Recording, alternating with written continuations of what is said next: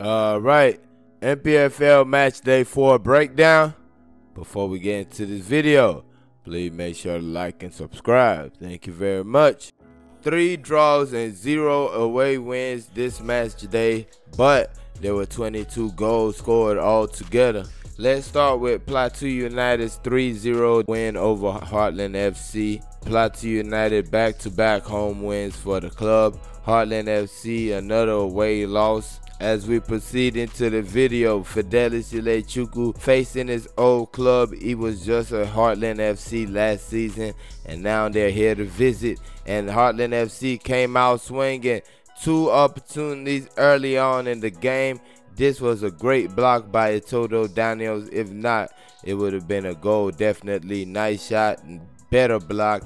As you see, he gets down and makes the block tremendously, keeping the score at 0-0. And that was really helpful because Mohamed Zuki Filu finds Jesse Akila and he just pokes it past the goalkeeper to give Plateau United a 1-0 lead. Next up, Jesse Akila turning provider. This time he finds Chimeze Zuchuku who rolls the ball past the unrushing goalkeeper and put the ball into the back of the net. As we see on the replay, the man was onside and once he got to the ball, it was murder she wrote for Heartland FC. The third goal was scored by Mohamed Zuki Filu, assisted by former Enyimba player Ruben Bala. Finds him in the box, and he just needs one touch to get himself together, and the second touch to get it past the goalkeeper. Zuki Filu could have ended the match with a brace after lobbing the ball past the defender, getting a little bit of a lucky break twice, but his shot goes right at the goalkeeper and it is saved. And the score remains Plateau United 3, Heartland FC 0. Moving on, Rivers United hosting Sunshine Stars. That match ended 0-0. Rivers United still undefeated this season. Sunshine Stars get a good away draw. The match was played in Harcourt, and at the end of the day, Rivers United will have themselves to blame because they had a bunch of opportunities that they could have used to get the lead in this match. But they were very wasteful, and when you waste all these opportunities, what's going to end up happening? You you're not gonna like it because at the end of the day, Rivers United dropped two points. Next up, Shooting Stars hosting Katsina United. Shooting Stars won that game by a goal to nil. Wasil Alalade scored the goal. Former Enyimba player gets the goal for Shooting Stars, and that is their first win of the season. Katsina United with another away loss. Just got the Derby victory against Kano Pillars, and you would hope that they would build on that. But against Shooting Stars, they lose by a goal to nil. Outside the action, we have to talk about the pitch. Yes, this was the same pitch that hosted Akwa United just earlier this season, and now what a Christmas miracle. The only question is what took so long? Why wasn't it fixed when the season started? Why did it have to take people complaining about it for it to be worked on? That's the only question, but as of now, everything looking good. Moving on, Abia Warriors played a one-all draw with Kwara United. Abia Warriors now with back-to-back draws after playing a draw against Niger Tornadoes. They get held at home. I still say Abia Warriors are going to be a team to watch out for this season. So much talent on the side. I mean, defensively, they're not that good, but when you talk about going forward, they got so many good players, and I expect to see more from them this season. Kwara United looking more like it. Nice way to get a point away from home. First point away from home for the season. And if they want to get into the continent like they almost did last season, they have to get these results and even better, you know.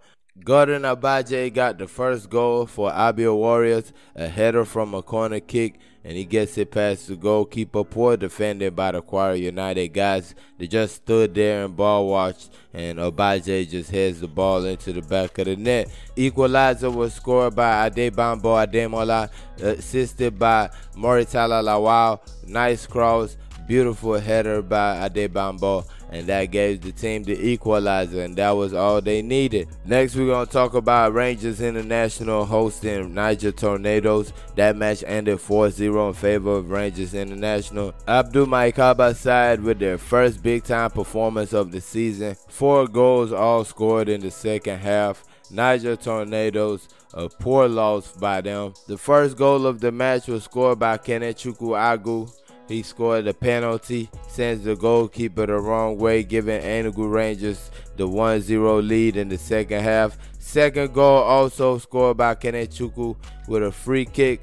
Goalkeeper was lost in the sauce and he just slides it past him. Nice free kick to get it over the wall and put it into the back of the net. I didn't see too much if there was a deflection or anything like that. The next goal was scored by Shedrack Asegbu and he gets it into the back of the net. Nice shot, just puts it past the goalkeeper, left footed strike, and it goes into the left lower corner. Fourth goal, honestly, we can't see the fourth goal, and be honest. It was scored by Christian Naji, and this is honestly the reason why you didn't see this game on the channel, because what could I do about that? And next up, we talk about Nasarawa United defeating Akwa United. This is another match that I would have loved to put on the channel, but you could barely see the ball in the match. Nasarawa United first win of the season against Akwa United. This is a team that almost made it into the continent last season, and they finally getting back on their feet. Got that three-all draw against Heartland to begin the season, but they drew at home and went away from home and had another draw and this is finally their first win of the season. Akwa United get their first loss of the season. The champions of the NPFL, they had a good game against Nasarawa United, but it just wasn't meant to be. So many missed opportunities by Akwa United. And I believe that both teams are going to have a good season, not just one, but both teams. These are two of some of the better teams, better sides in the NPFL this season. And let's get into these highlights. And the first goal of the match was scored by Michael Tochukwu Cross comes into the box and just everybody is in disarray. He gets the ball laid off to him and he slams it into the back of the net. As you see, the defenders are on sixes and sevens, not knowing what's going on, and only one defender actually tried to do anything. Just poor, poor, poor by Akwa United on that note. Second goal of the game was scored by the man himself, Silas Nwankwo, mentioned by the Super Eagles coach just lately. And guess what? This is a guy with immense quality, and he deserved that mention. I mean, people are naming other guys who deserve the mention, but I feel he deserved it definitely. And yeah, great way to start the new year for Silas Nwankwo. And the next match, Dakkada hosting Remo Stars. Match ended one all. Seems like Dakkada cannot get away from controversy. This match was dripped in it again. Murita Lawal scored for Dakkada while Samuel Anekwe scored for Remo Stars. I say this all because we're just gonna go straight into the nonsense. And when I talk about nonsense, I talk about this situation right here. A member of the Dakkada technical staff attacks an assistant referee, and here he goes right here walking up to him tries to slap him. In all honesty, when I slowed down everything, the only thing he did was push him a little bit. But check the guy out. The assistant referee does a great job of composing himself. I tell you what, not a lot of guys are going to just stand there right after they've been attacked like that. A lot of people are going to attack back, and you wouldn't fault them when they do. The attacker was later on identified to be a member of the Dakkada technical team, and apparently he has lost his job along with a couple of other members of that technical team, according to the club, by the way. The LMC has also decided to banish the team to Benin City, according to the team. I didn't see that on the LMC's page, but the team Dakkada themselves say they've been banished to Benin City, and I feel like that's just a ridiculous decision. How would you ban a team because of one individual's decision to attack an assistant referee? You look at the situation that happened in the championship a couple years ago. Birmingham City playing Aston Villa, and Jack Grealish was attacked on the pitch.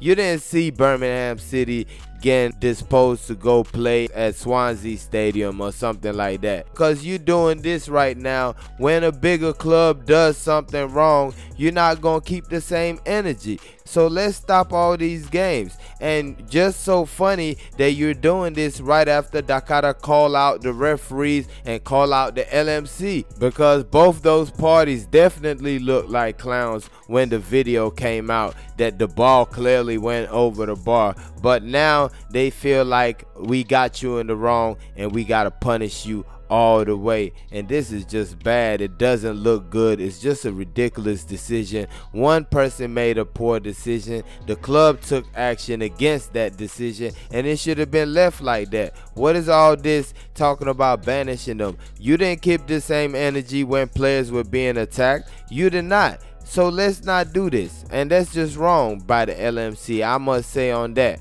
And moving on. In the next match, we talk about Kano Pillars hosting Enyimba and Kaduna. Kano Pillars got their first win of the season, defeating Enyimba by two goals to nil. And now it seems like Enyimba is the one in trouble. Back to back losses now. And these are two big matches. You lose to Rivers United and you lose to Kano Pillars. Not saying that these are teams that you're supposed to beat automatically, but these are matches that you'll want to know what you got, and what you're seeing is that you're not you're not you know keeping up with these teams. You're not on their level if they're beating you, both of them beating you. So you'll want to be on their level, on the level of a Rivers United or Kano Pillars. So that's where the problem comes in for Enyimba. But when you look at the goals that were scored against them, and first of all, let's talk about this pitch. You look at this pitch right here, and you compare it to this the pitch that was used against Egypt for the 2015 Nations Cup qualifiers. This is the same pitch. And how did everything go so bad? That's the question we should be asking. How did everything go so, so horribly wrong? And when you look at the game, the first goal was scored by Rabiu Ali, a penalty in which he sends the goalkeeper the wrong way. Apparently, that's his 105th goal of the of his career. And here we have Ojo and Lauren Leke making a mistake, and Kokote Udo punishing him right away. He kicks the ball into his defender. Kokote Udo gets the ball and check out this finish. Lifts it over everybody right into the back of the net. Clinical and ice cold. Nice by Kokote Udo. And next up, we talk about Wikki Tourists 3-0 win against MFM. Nelson Abiam, Isa Usman, and Saleh Ibrahim get the goal for Wikki Tourists. MFM, another away loss. Not much you can say about that for MFM. They just need to find ways to get results away from home, just like they get results at home. Wikki Tourists, 3 0 win, biggest win of the season. I'm expecting big things from Wikki Tourists. I'm not gonna act like this is something that I didn't expect. I'm expecting them to do things like this this season, and hopefully we get to see more from them. And next up, you have Gombe United 3-0 win against Lobi Stars. Lobi Stars don't seem too serious this season. You losing 3-0 to a newly promoted side. They should have shown more fight. Seems like the players they lost, I mean, it was just too much. You you talking about you losing both your fullbacks in Ebube Duru and John Lazarus. You losing your main striker and OC Martins. I mean, you got a lot of work to do if you're Lobi Stars. Gombe United, they had that match against Akwa United. Like I said then, they were going to take that and move on with it. And look what happened 3 0 against Lobi Stars. Hopefully, we see more good performances like this from Gombe United this season. As we look at the table, Remo Stars, Rivers United, and Nasarawa United are the only undefeated teams remaining in the Nigerian Professional Football League. Sunshine Stars are the lone team without a win this season. Enyimba are in ninth place, but there's only two points separating them and the top of the summit. So yeah, that's the breakdown for NPFL Match Day 4. Thank y'all for watching. Peace.